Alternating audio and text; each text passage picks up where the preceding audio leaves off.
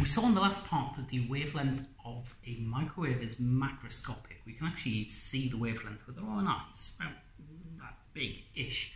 We also saw a little bit about the fundamental relationships between wavelength and frequency and energy.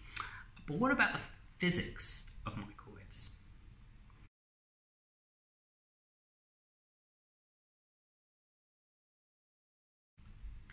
To cut to the punchline, uh, microwave radiation induces molecular rotations in anything that has a permanent dipole. Uh, that is, any molecule where the electrons are being pulled asymmetrically by electronegativity. Now, these rotations can be split over three axes, one, two, and three. And they're also quantized. They have quantized energy levels, just as with molecular orbitals and atomic orbitals. Uh, now, this sounds truly bizarre. After all, you would expect these things to be able to rotate quite freely, however they like, in any direction, at any energy, um, and locking them off into uh, quantized energy levels also feels a little bit bizarre. How does this uh, become quantized, for instance?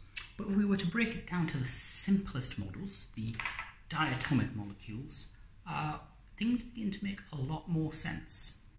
While the details of this are best left to a dedicated quantum mechanics course, we start with confining a particle to a one-dimensional box, like a wire or string. This model tells us where quantization of energy comes from.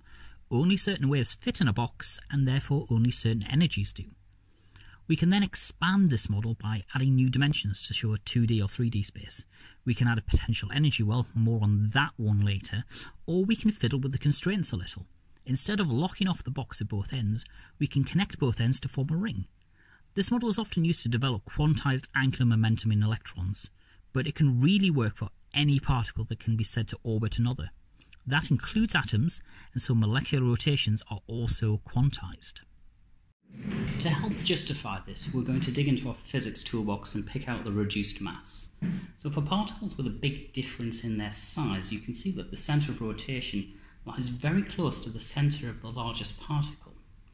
And we can model this system as if it's just a smaller particle rotating around a fixed point.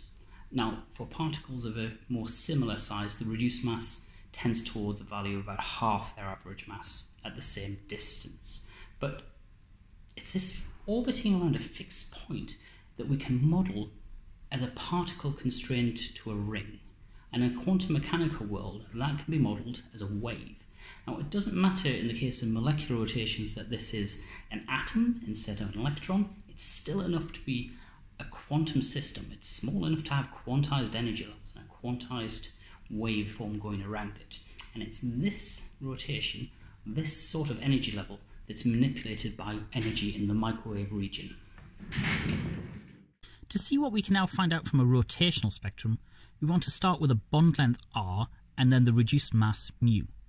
We then combine those together to produce a quantity known as the moment of inertia.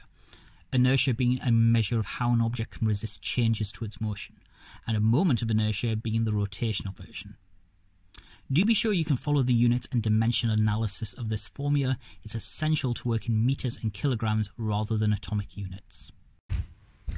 At this point, I just want to add that I'm being deliberately vague with where these formulas come from. There's a deeper dive into the mathematics behind them in one of the pre-lab lecture videos if you're interested.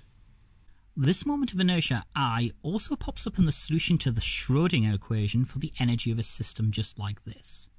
This equation has all the usual suspects in it, Planck's constant for relating frequency to energy, and pi because we're dealing with rotations. The j in this case refers to the quantum number of the energy level. For rotations, this begins at zero. We can also reformulate it in a few different ways, such as using the reduced Planck's constant or adding in the speed of light to convert the energy to wave numbers. For any particular molecule, most of these things are constant, so we can wrap them all up in something called the rotational constant, B. Because B is constant, the rotational structure of every heteronuclear diatomic molecule will be very similar, just with varying energies depending on the constant B. And because B represents an energy, we can read it directly off a rotational spectrum, which we'll see in the next video.